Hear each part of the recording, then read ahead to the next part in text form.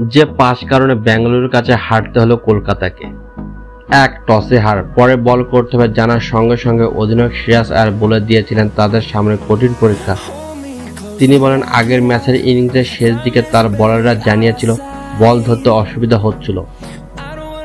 দুই, শুরু থেকে নিয়মিত ব্যবধানে উইকেট হারাতে থাকে কে কেকেআর। ফলে প্রথম পাঁচ ওভারে মাত্র বত্রিশ রান ওঠে।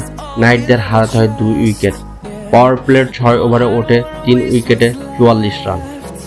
তিন ওয়ানিন্দু হাসারাঙ্গা ও হর্ষল পাটেলের আট ওভারে মাত্র একত্রিশ রান ওঠে। কে কেয়ারের হয়ে প্রথম ম্যাচে বরুণ চক্রবর্তী ও সুনীল নারায়ণ যে কাজটি করেছিলেন, ঠিক সেটি আরসিবির হয়ে এই ম্যাচে করলেন হাসারাঙ্গা ও হর্ষল। চার, শুরুতে উইকেট হারিয়ে কোনটাসা হয়ে পড়া কে কেয়ারের মাঝের ওভারগুলি ব্যাঙ্গালুরু বোলারদের একেবারেই সমীহ করেনি। ঠিক উল্টোটা করে বাজিমাত করে আরসিবি। তারাও শুরুতে তিনটি উইকেট হারিয়ে চাপে পড়ে যায়। কিন্তু তারপর ডেভিড উইলি ও রাদারফোর্ড কে কেয়ারের বোলারদের দেখে শুনে খেলে দেন। পাঁচ, উনিশতম ওভারে দীনেশ কার্তিককে রান আউট করার সুবর্ণ সুযোগ পেয়েও নষ্ট। উইকেটের একই দিকে চলে গিয়েছিল কার্তিক ও হর্ষল।